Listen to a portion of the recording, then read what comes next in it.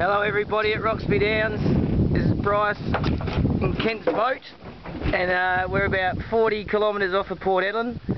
That's Turtle Island you can see in the distance. Uh, we're waiting for the tide to turn so we can catch some more decent fish but I'll show you what we've got so far. Here you go.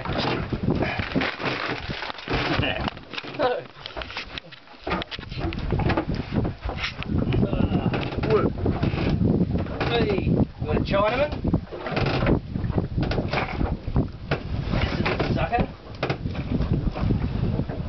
With a buffalo bream. You like that one, Normie? You love that. All on ice, ready to go tonight.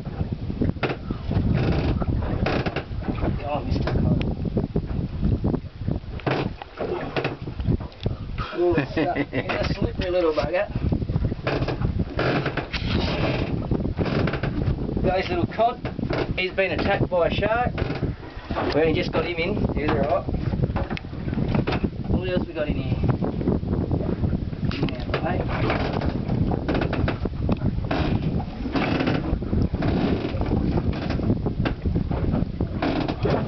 Kicking these. We got some little Spanish flags. They're not too bad, them ones. So there you go. That's my Good Friday in Hedland. Hope you're all having a good one. Stop.